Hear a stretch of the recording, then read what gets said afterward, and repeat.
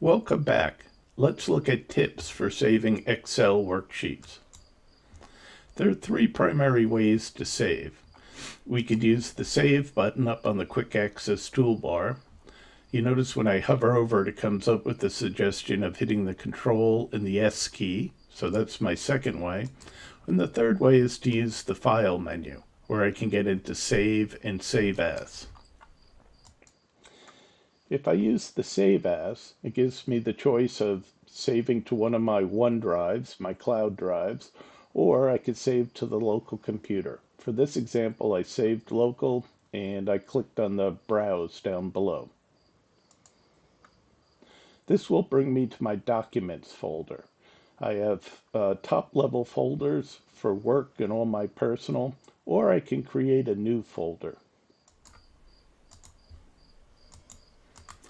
Now let's talk folder strategy. The whole idea is to make it easy to find using folders and subfolders. I started out with the directory folder.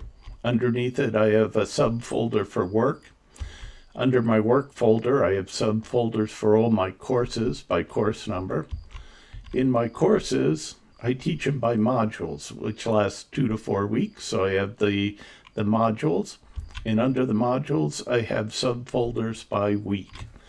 The idea is that you should be able to read your folders uh, without having to scroll down. Once you have to scroll down, make a new folder.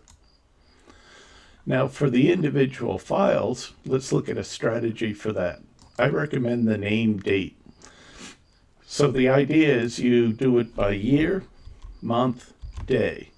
So that would be 240911. Here's an example my workbook 240911.